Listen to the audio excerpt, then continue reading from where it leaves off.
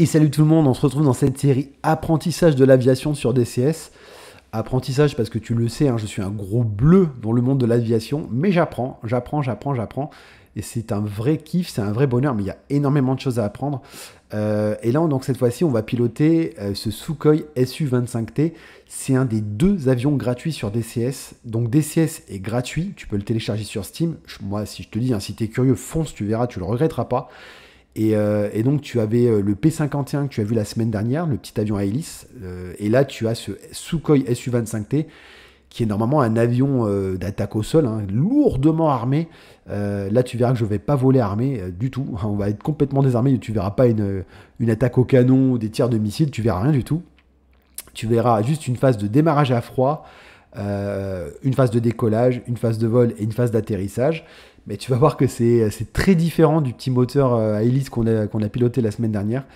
Le Sukhoi, il date des années 70, euh, il date de l'ère soviétique. Euh, d'ailleurs, je crois qu'il est encore même utilisé aujourd'hui, il a été modernisé. donc voilà, c'est un avion qui est, qui est voilà, c'est un avion avec des turboréacteurs. Donc tu vas voir qu'en termes de puissance, ça n'a rien à voir. Mais en termes de comportement, ça n'a rien à voir aussi avec le P51.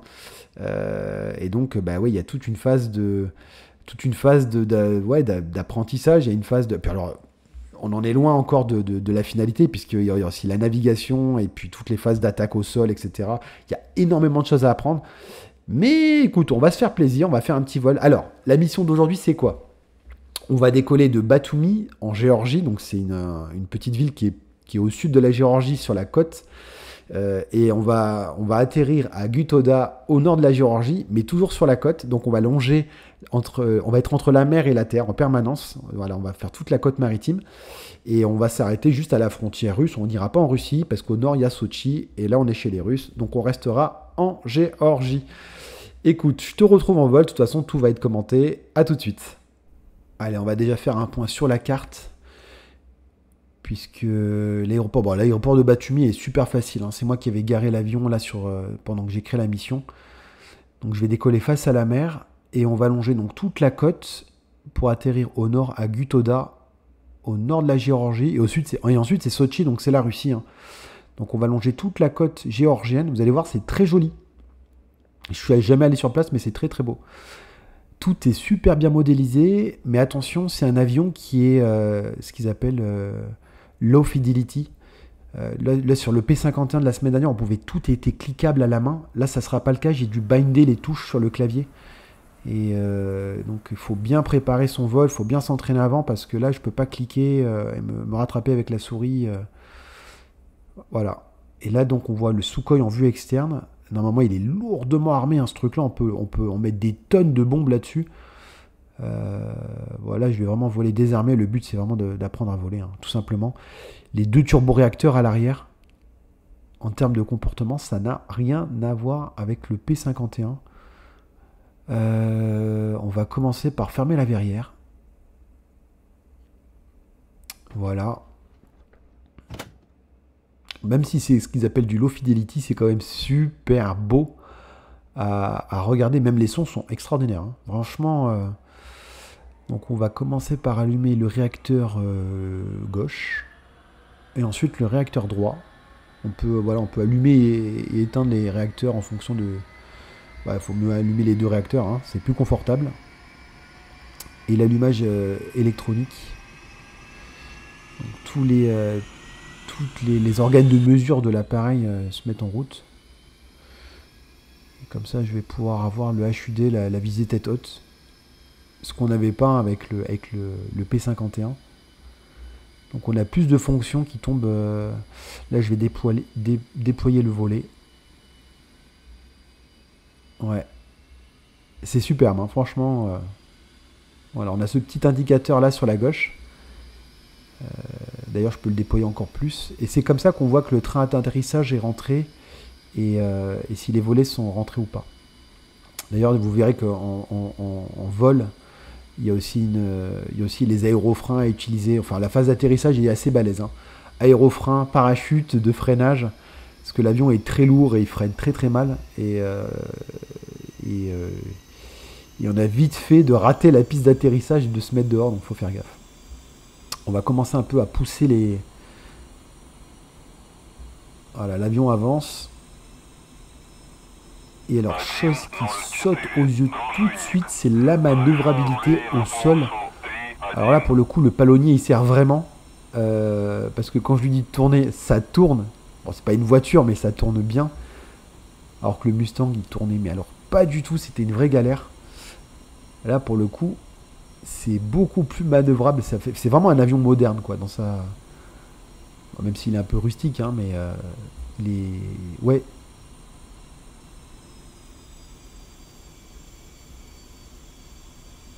On va se mettre. Euh, on, va... on est toujours sur le taxiway, là, on avance. On a plus l'impression d'être sur un, vrai avion. Euh, alors, j'ai pas conduit un Airbus encore, hein, mais. Euh, mais ouais, ça, les, sensations sont. ça, bouge beaucoup mieux, c'est impressionnant, ça n'a rien à voir avec le P51. Ah, je suis vraiment. Là, j'ai l'autorisation de décoller. c'est tout en russe, mais c'est traduit. Hein. Ça, c'est agréable. on va. Ah je suis vraiment positionné sur la piste. Eh ben, écoutez, on va pousser la gouache. On va pousser tout ça. Voilà.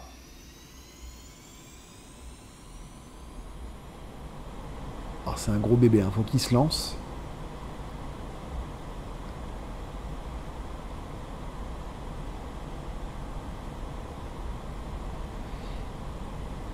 Et donc, ce que vous voyez à gauche, c'est les, les kilomètres heure en fait. Parce que je crois que c'est des unités métriques euh, occidentales dans les avions russes. de, ce que j'ai cru comprendre, hein, j'espère ne pas me tromper. Donc là, on est en, haut. Ce que vous voyez à gauche, c'est par exemple 310 km/h, 320. Et on décolle. Et alors, c'est beaucoup plus facile de décoller qu'avec le Mustang, qui était beaucoup plus nerveux. Et c'est aussi, c'est très très joli. Hein. Et on est déjà à 420 km/h, ça va vite. Hein. Alors on se fait un petit plaisir.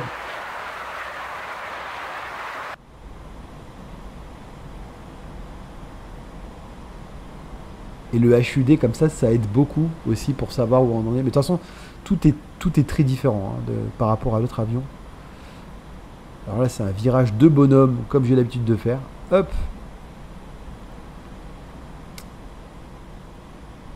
c'est vraiment superbe. Vraiment, et tout ça est gratuit. Imaginez seulement le gros kiff. Alors j'ai mis la mission euh, vol par beau temps, euh, mais euh, mais on peut on peut changer la météo. Hein. Tout est possible. Hein. Le plafond de nuages, tout tout est réglable. Hein. Mais je me suis dit qu'on va y aller doucement quand même. Et là, j'en observe un port avec même un bateau de croisière.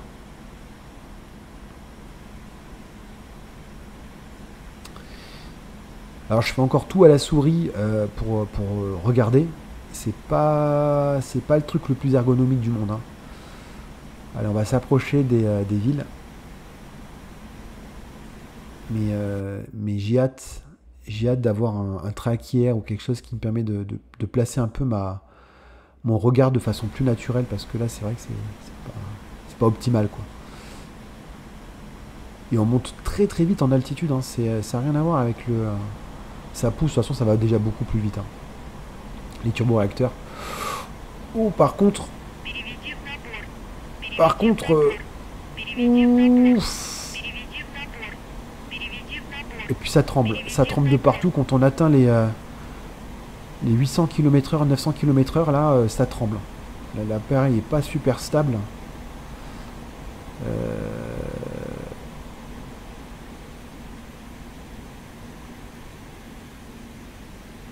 Là, on était quasiment à 1000 km/h. Euh, et, ça tremblait de partout, quoi. L'appareil, il n'est pas, il est pas fait pour voler très très vite. Donc, euh, passer les 800, 850, ça commence un peu à, il commence un peu à tirer la tronche. Et on, faut faire gaffe, faut faire gaffe parce que voilà, il est, quand il est lancé, cet appareil-là, il est, pour le récupérer, il n'est pas agile. quoi. C'est vrai que contrairement au Warbird où j'étais super à l'aise avec le P51, là c'est pas du tout la même, le même son de cloche. Il est très lourd, c'est une enclume. Hein. Et euh, il n'est pas en train de. Il est, pas ultra manœuvrable, quoi. Voilà. On a l'impression de piloter un, petit avion de ligne. J'ai pas vraiment beaucoup de références, donc peut-être que je dis gros, une énormité. Hein. Mais. Euh... Alors on se fait un petit kiff, une vue externe. Et ça fait du bruit. Ça fait du bruit, ça fait du boucan. Désolé.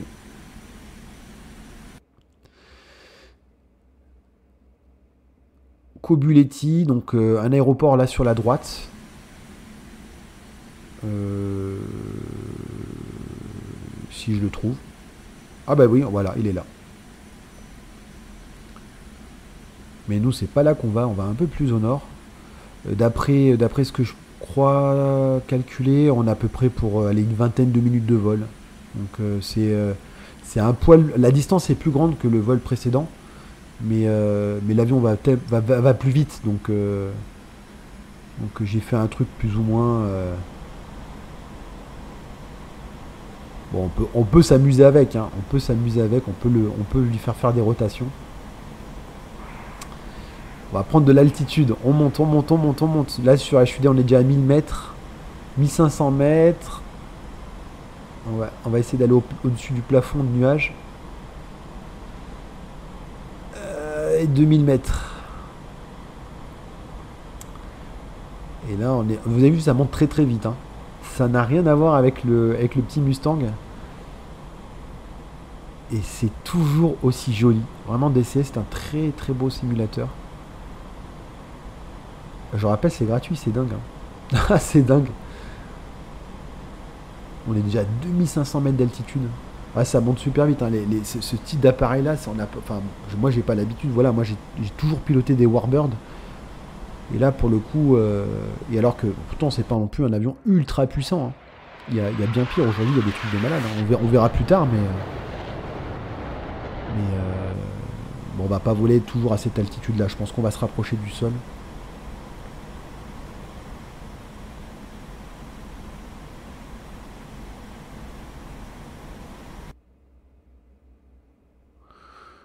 Alors qu'on a déjà fait euh, quasiment un tiers, un tiers du parcours. Vous voyez, ça passe vite. Hein. Allez, on va plonger un petit peu.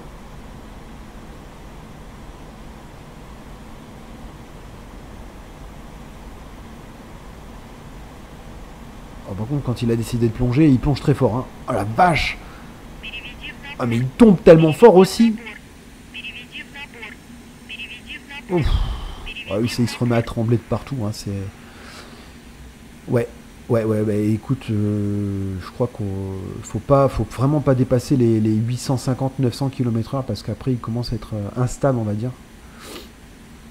Même pour faire des attaques, euh, je pense qu'il faudra pas voler trop trop vite non plus parce que sinon tu, tu tout. Hein. Au sol, tu tires n'importe où.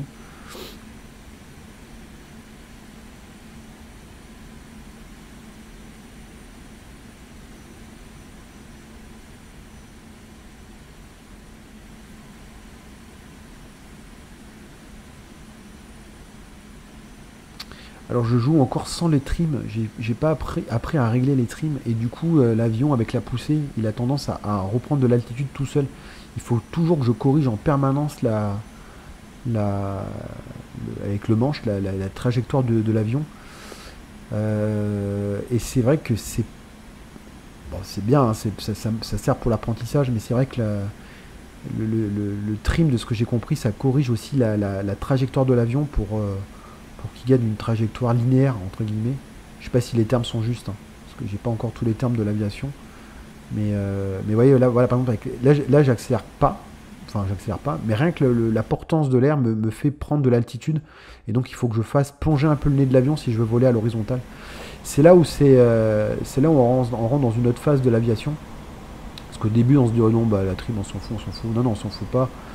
Euh, pour, du confort, on, est obligé d'y venir. Et, on se fait un petit kiff avec une vue externe.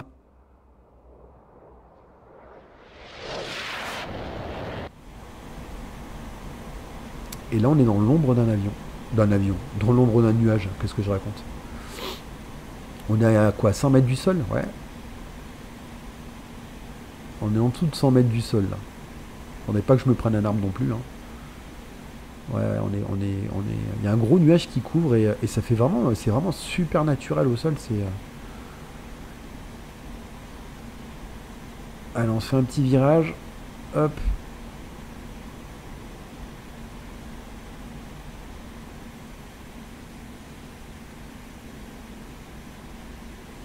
Alors, j'utilise pas toutes les commandes en vol. hein. Euh, là, par exemple, le gros écran là qu'on voit sur la droite, c'était gros, ce gros écran noir, euh, on l'utilise, je crois, que pour les attaques au sol. Et euh, y a- j'arrive pas encore à tout comprendre, hein. honnêtement. euh, il va falloir un peu euh, l'utiliser, l'utiliser, l'utiliser cet avion pour. euh, regardez comme c'est joli. C'est vraiment superbe. Là, on se croirait en Toscane, en Italie. Regardez comme c'est beau. Vraiment, le simulateur fait un job. Euh, ah, C'est un vrai régal. hein.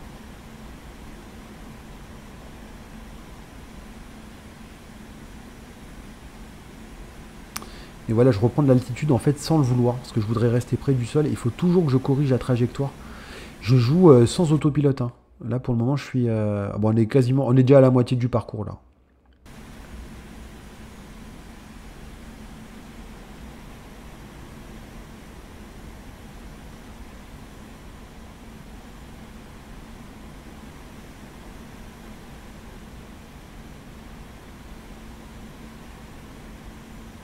Bah dis donc, quand on, regarde la mer comme ça, on se dit que.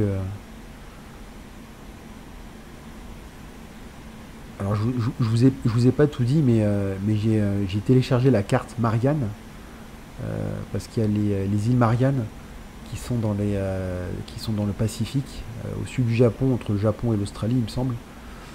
Et c'est superbe, la modélisation là est magnifique. hein. Et, euh, et la, carte Marianne, elle est, euh, elle est aussi très sympa, mais il y a beaucoup, beaucoup d'eau. Et c'est un peu comme ce qu'on a vu là sur la gauche. Où, euh, où quand on est entouré que d'eau, malheureusement, c'est pas le truc le plus fou. Il faut quand même qu'il y ait un peu du paysage, quoi. Sinon, c'est. Allez, on entame le. Allez, on va entame presque le dernier tiers du parcours. Euh, D'ailleurs, je crois que là, c'est la- la- l'avant-dernière ville qu'on va croiser. Qui a un aéroport aussi, mais c'est pas là qu'on atterrit. Mais euh, normalement, de ce que j'ai compris sur le trajet, quand je vais voir l'aéroport, je me mets dans, la trajectoire de la piste et je suis vraiment pile poil dans la bonne direction.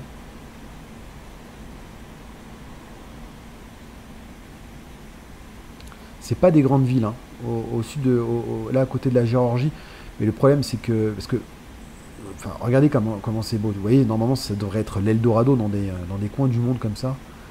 Mais comme on sort de l'ère soviétique et, euh, et comme il y a toujours des tensions avec euh, la Russie d'un côté, vous avez la Turquie un peu plus au sud, etc. Enfin bref, tout est, tout est compliqué dans cette zone-là.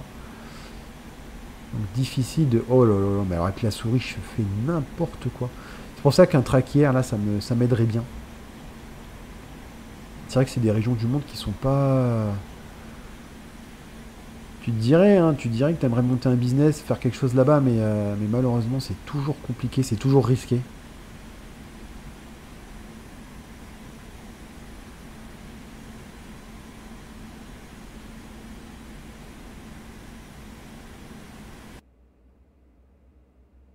Sukumi. La ville qu'on va survoler, c'est Sukumi. Et normalement, il faut que je repère l'aéroport de Sukumi pour me mettre dans, le, dans la bonne direction. Alors, Sukumi, c'est par là. Je vous avais dit hein, qu'on longerait la côte. Il y a du relief. Hein. Il y a du relief. Hein. Si on s'enfonce dans les terres, il y a des montagnes. Euh, même avec de la neige. Donc, Sukumi, c'est là en face de moi, normalement. Regardez ça, il y a des montagnes. hein.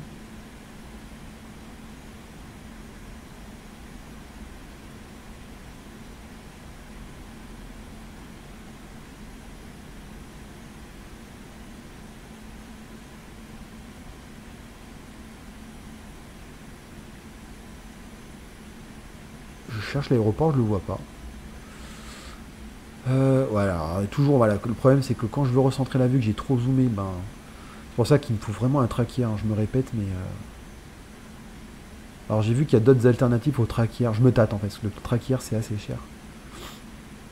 Et là donc bah, l'aéroport je le vois pas.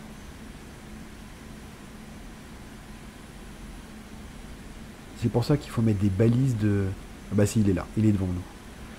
Je vois la piste. Donc là, quand je suis, dans l'axe de cette piste-là, bah, je suis dans la bonne direction et on va bientôt atterrir. On est quasiment à la fin du, parcours. Vous voyez, je vous ai dit, hein, ça, va vite. On est entre, euh, entre 500 et 700, 800 km/h. je parle en km/h parce que l'unité de mesure utilisée, c'est ça. Hein.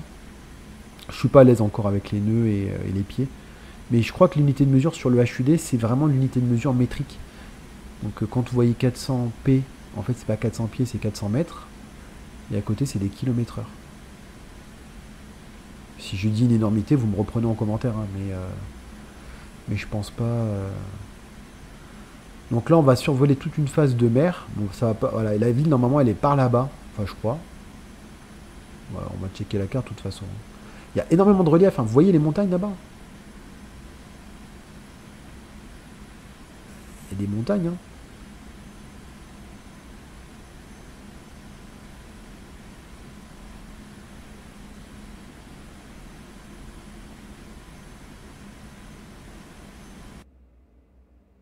On va un petit peu se replacer là, hein, parce que je suis pas tout à fait... Euh, ouais, faut que je prenne un peu plus large. J'ai bien envie d'arriver pile poil face à la piste. J'ai pas envie de me louper. Euh, l'autre fois en P51, c'était un peu sport. Et là, j'ai envie de faire un truc très propre. Donc pour, euh, pour faire quelque chose de propre, bah, il faut bien se préparer à l'avance en fait. Faut pas. Et alors l'idéal ça aurait été de mettre des balises dans le dans le dans l'éditeur de mission ce que j'ai pas fait. Euh, alors que là je cherche la ville. Mais je dois, je dois pas encore être à côté. Hein.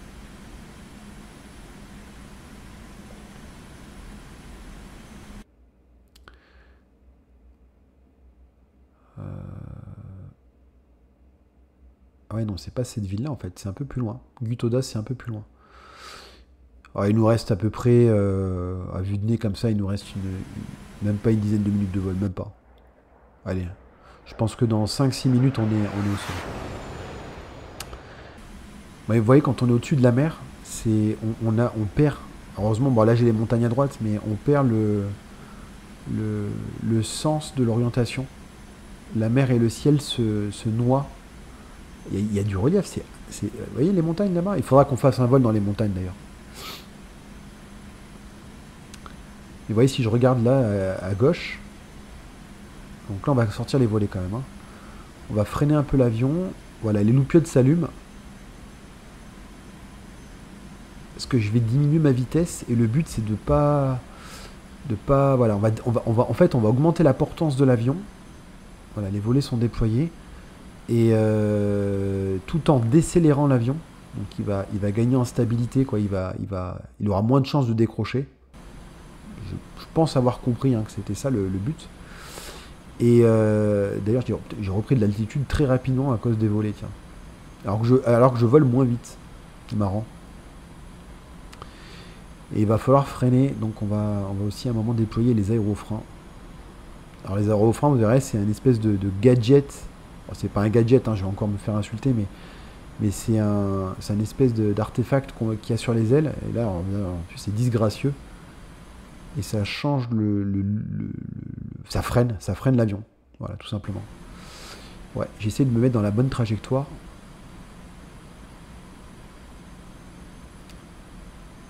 je devrais presque le voir, je crois, d'ici.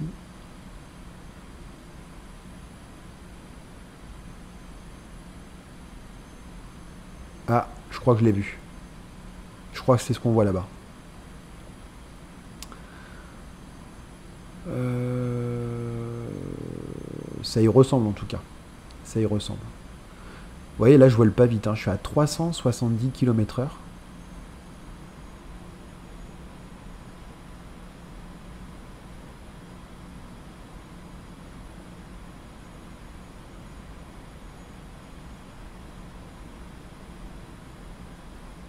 J'ai peut-être freiné un peu tôt, mais au moins J'arriverai pas trop vite parce que j'ai vu des séquences d'atterrissage avec l'avion, je peux vous dire. Euh, euh, et, même pour vous, pour vous dire, euh, j'ai même déjà essayé d'atterrir évidemment. Et j'ai éclaté le train, un des trains au sol. alors c'est marrant parce qu'on peut vraiment éclater un train et, rouler malgré tout. Hein. L'avion est bancal sur la piste. Le simulateur est vraiment, c'est vraiment, un simulateur. C'est pas Ok, j'ai vu la piste. On la voit bien là. Oh bah là, on va se faire un petit virage. Et, hop, désolé. Hein. On, va, descendre un petit peu. Hein. on va descendre. Hop. On va déployer les aérofreins. Vous voyez, vous voyez comme ça fait propre? Donc ça, ça me freine un max. Hein. Ça, ça freine l'avion.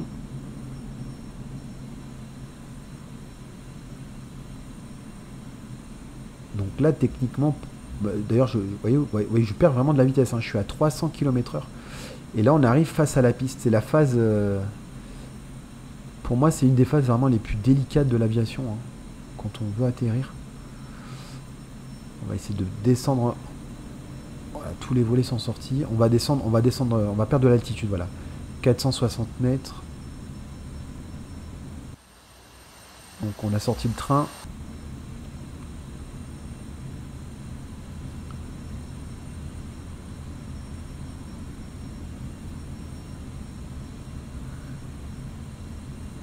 peut-être un peu bas là. 200... Hein. 200 mètres d'altitude, c'est... Je, ralentis beaucoup et du coup... Euh, en tout cas, la piste, on la voit. Hein. Par contre, je suis vachement près du sol. On voit la mer se rapprocher d'ailleurs, hein, vous avez vu? Je me cracherai pas, rassurez-vous, je vais essayer vraiment de... Ah, je me cracherai pas dans la mer. Je suis pas, je suis pas neuneux à ce point mais euh, on est à 50 mètres du sol. Alors vous voyez là, quand, on regarde comme ça, ça me fait penser à l'aéroport de Nice, Nice Côte d'Azur, si vous connaissez un petit peu le, si vous avez déjà pris l'avion, vous avez atterri là-bas. Moi, je viens de là-bas. Et, euh, quand, on a, quand on arrive à l'aéroport, on a, on a cette vue-là. c'est différent, hein. il, y a la, baie des Anges, Nice des Anges, etc. La, promenade des Anglais.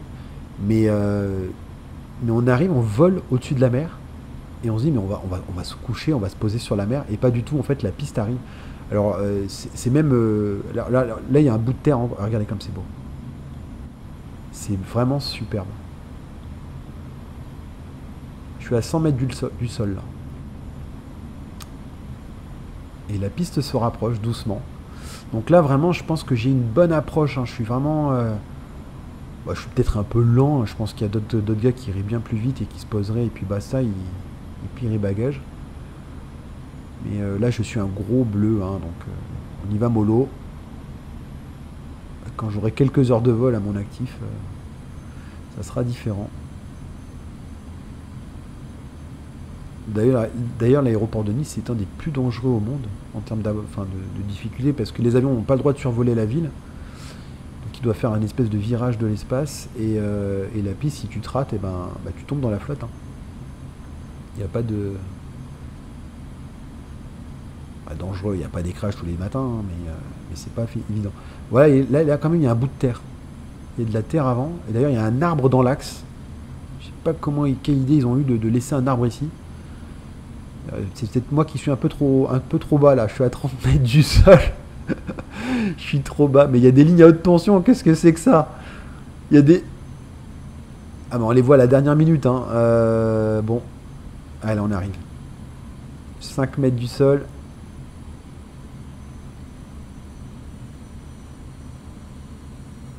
Et là, vous allez voir, il y a toute une phase de, de, Alors là, je freine comme un sourdingue et je déploie les aérofreins. Ça va freiner très fort d'un coup. Les aérofreins, alors l'aérofrein, non, c'est le parachute. Ça va, boum ah, Là, j'ai mis... Alors là, le parachute... Euh, vous voyez comme c'est... Regardez ça. Et si je mets pas les parachutes, en fait, l'avion, il freine pas. Enfin, il freine pas. Il freine parce que les, les, les, mais ça freine mal. Et c'est une plume cet avion et. Euh, euh, oui, alors là, il, là, il freine beaucoup là. Euh, là, les parachutes me freinent, trop. comment, comment, qu'est-ce qui se passe? On va rentrer les aérofreins, voilà. Mais là, je suis vraiment freiné. Je suis, tellement freiné que... Ah, mais c'est un truc de dingue.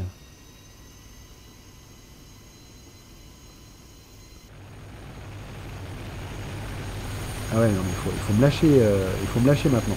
Voilà. Et on va se garer. euh, ça s'est super bien placé. Vous avez vu un peu cet atterrissage en douceur. Et c'est pour ça que je vous dis, euh, on a l'impression de piloter un peu un. C'est pas un avion de ligne, mais dans le comportement là, l'atterrissage, j'ai vraiment, euh, eu la sensation de piloter. Enfin, de, piloter, non, j'ai pas piloté. Hein. mais en tant que passager, j'ai eu le même ressenti. C'est-à-dire que c'est vraiment. c'est des avions très stables à l'atterrissage très. Euh, bah, il est dû déjà, il est très lourd, mais il c'est pas qu'il y a de l'assistance, mais il y a, il y, a, tellement de. Vous voyez, là, les aérofreins, les machins. On n'a on a pas ça sur les avions hélices, moi j'avais pas ça. Sur le P51, j'ai pas eu du tout le même ressenti. Et, euh, alors, par contre, il est moins manœuvrable parce qu'il est beaucoup plus lourd, etc. Par contre, ça pousse beaucoup plus fort. C'est vraiment différent. Vraiment, c'est pas le même usage, c'est pas le même état d'esprit. Et on va se garer plutôt par là. Bah voilà. Et on est. On est euh, Et il y a du trafic d'ailleurs il y a du trafic. On fera des attaques au sol, on fera des attaques au canon, des attaques. Euh, on, va, on va se créer des petits scénarios, des petites missions, et après on ira même se, mettre sur la figure en, multijoueur, mais on n'en est pas là encore. On n'en est pas là. Et eh ben écoutez, on est. et euh, eh ben voilà. On va couper tout ça. Euh, extinction des moteurs. Extinction électrique. On va tout éteindre. Il faut retrouver les touches surtout. Voilà, le HUD est éteint. Ouverture de la verrière. Euh, par ici. Voilà. Et eh bah ben, écoutez, j'espère que vous avez apprécié le vol. Euh, si vous voulez voir la suite de l'aventure, bah, pensez à vous abonner. Lâchez un petit like. Un petit commentaire de soutien, ça aide au référencement. Et puis, euh, et puis voilà, moi je vous dis à très bientôt.